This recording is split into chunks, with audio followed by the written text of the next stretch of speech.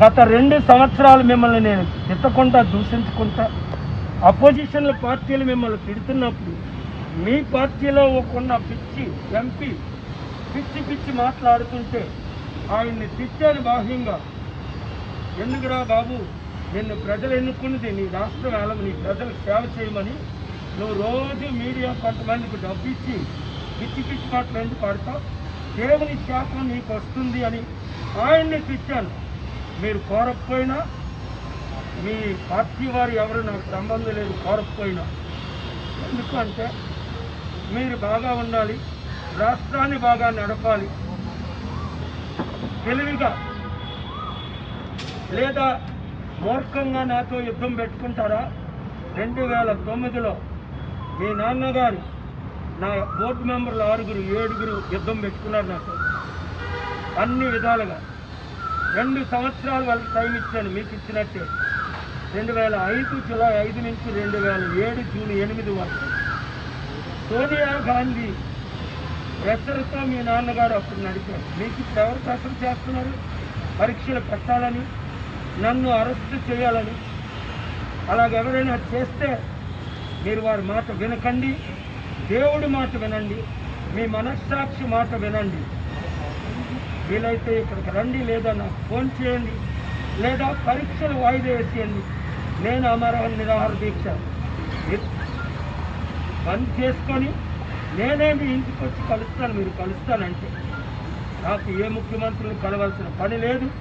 అయినప్పటికీ రాష్ట్రం కొరకు అనేక మంది ముఖ్యమంత్రుల్ని ఈ మధ్య నేను కలిశాను. వారింటికి నేను వెళ్ళాను. ఫోటోలు వీడియోలు ఉన్నాయి. మంత్రులే నా హోటల్కి సంగ్రహంలోకి వచ్చారు. చాలామంది చూశారు. తొంభై కోట్ల రైతులకు ఫేస్ అయిన రాకేష్ టికెట్ గారు యుద్వీర్ సింగ్ గారు మార్చి పద్దెనిమిదిని మన- మన ఆంధ్ర తెలంగాణ భవన్కి వచ్చారు. మీరు మీరు ఒక ఒక్క అర్జెంట్ మెసేజ్ వచ్చింది.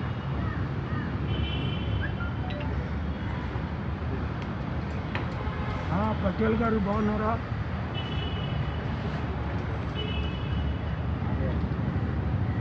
నేను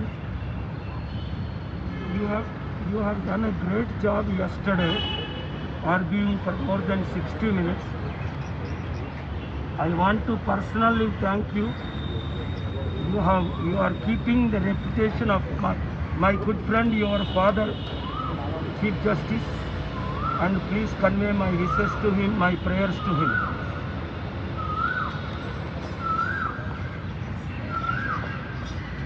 And are you i am in a, a press conference? Can i call you back to discuss more details? I have one question to ask you. You have an, you have answered everything.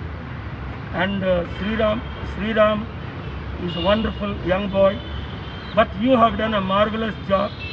And he's also argued briefly yesterday and day before yesterday before the honorable CJ Goswami. And Monday Monday are you going to be present to continue your arguments? Wonderful. How long will the arguments take place and are you confident? I am 100% confident. The Honorable CJ Goswami ji will postpone at least for two months so that these lakhs of students and crores of families will appreciate him. Do you believe he will do it, sir?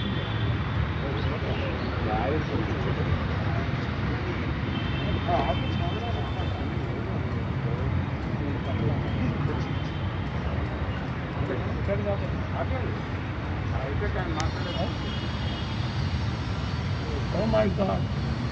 Justice Praveen Kumar, uh, I don't want to I don't want to comment on him, but uh, yesterday was marvelous.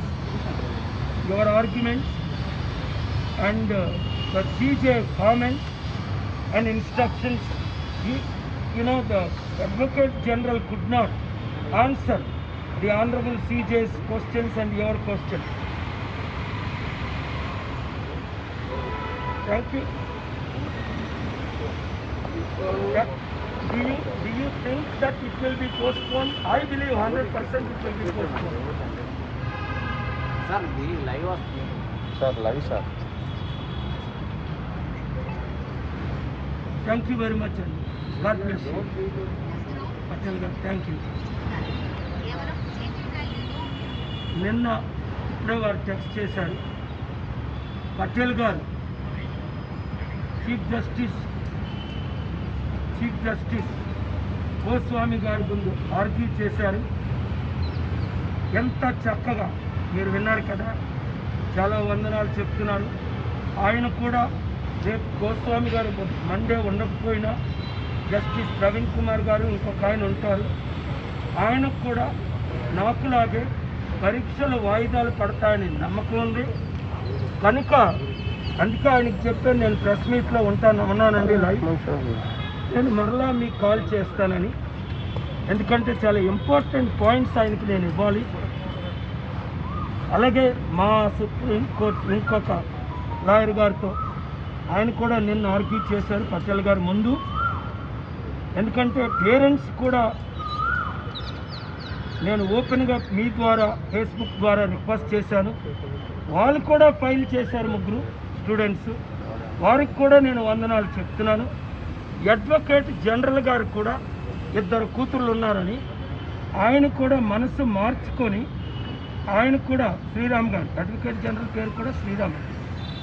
ఆయన కూడా పరీక్షలు postpone చేయాలనే చేయాలని ముఖ్యమంత్రి గారికి chief secretary గారికి chief secretary గారికి corona వచ్చిందని విన్నాను. అందుకే క్యాబినెట్ పోస్ట్పోన్ అయిపోయింది. అందుకనే చీఫ్ సెక్రటరీ గారికి చీఫ్ మినిస్టర్లకి మన కేసీఆర్ గారికి వచ్చేసిన మరలాన ఎంత విచారం? పాప మా ర్యాలీస్ పెట్టకూడదని ఆయనకి నేను సలహా ఇచ్చాను వినలేదు. కేసీఆర్ గారికి కేటీఆర్ గారికి కూడా కరోనా వచ్చింది.